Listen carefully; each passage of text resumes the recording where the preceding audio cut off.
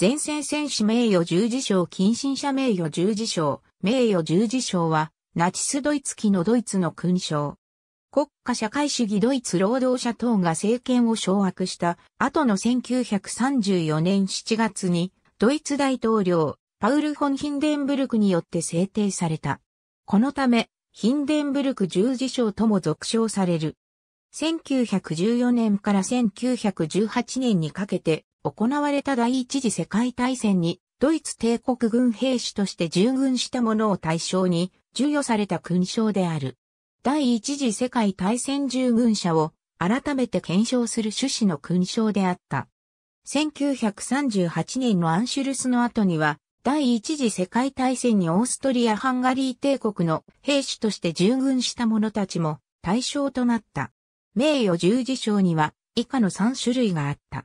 最終的に、前線戦死傷625万個、戦争参加者賞120万個、近親者賞72万個の叙勲が行われている。名誉十字章をデザインしたのは、ユージン・ゴーベットである。鉄十字章と類似した形であり、しかし、鉄十字章よりは小さめにすることをコンセプトにしてデザインされた。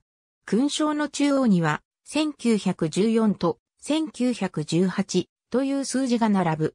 第一次世界大戦の開戦年と終戦の年を併記しているものである。裏側には何もない平面となっていた。前線戦士章では、中央の数字の周りが月経管によって取り囲まれ、交差した剣があしらわれている。戦争参加者章と近親者章には、白洋館が用いられ、剣は入っていなかった。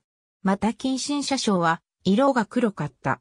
リボンの色分けは、前線戦士賞と戦争参加者賞が共通で、前者には交差した剣のバッジが加えられた。ありがとうございます。